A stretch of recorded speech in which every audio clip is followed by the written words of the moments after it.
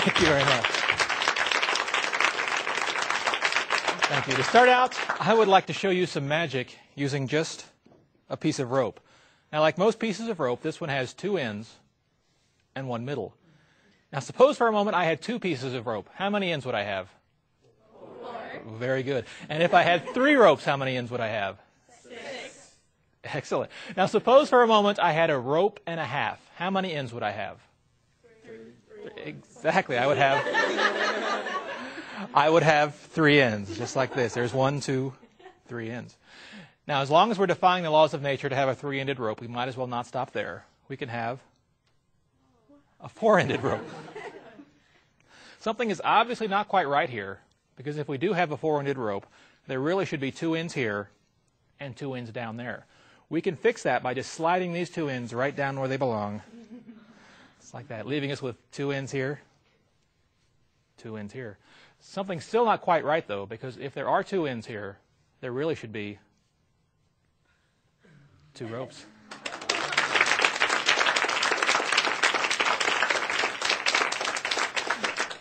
And in fact, there are two ropes. I'm going to tie each one into a knot. Here's number one.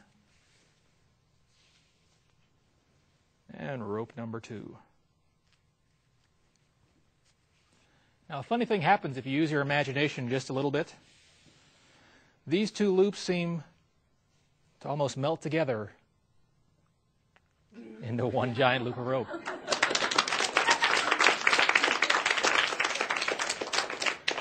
Doing that is actually pretty simple.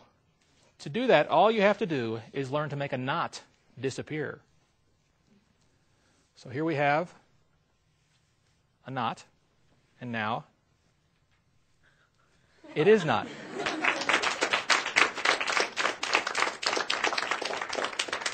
Once you learn to make knots disappear, it's a pretty simple matter to figure out how to make one reappear. Bringing us back to our one big loop of rope. You seem to be having a little bit of difficulty following this. I can try to make it a little bit easier for you.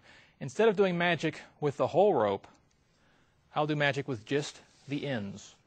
In fact, we'll start with just this end right here.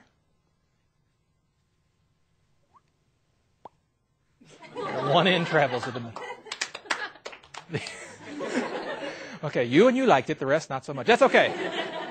I'll give you a second chance. Here's end number two. Bringing us back to our two ends and one middle.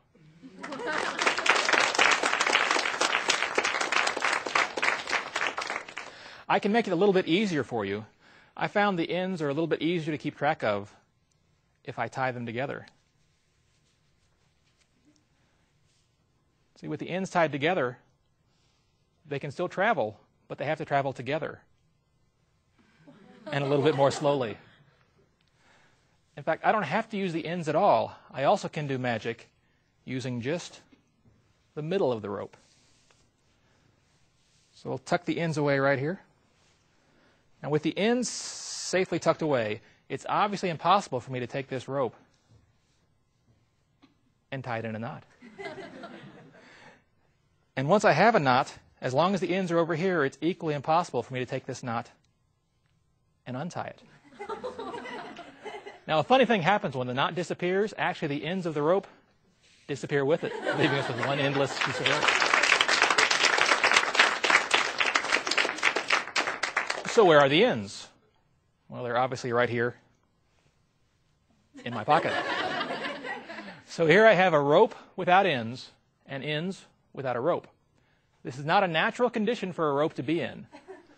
But I found if you just lay the ends over the rope, things look pretty much normal. And with a little imagination, things actually become completely normal.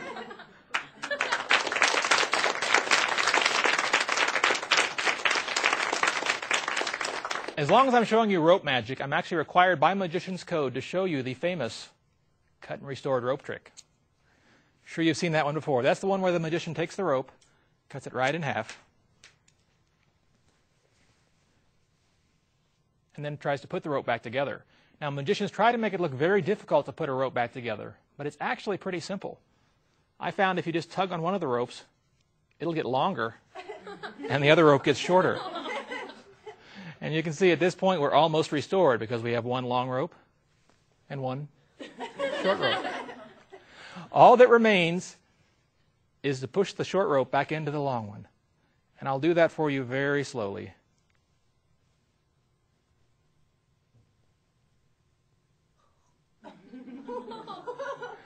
Until we're left with nothing but just a knot.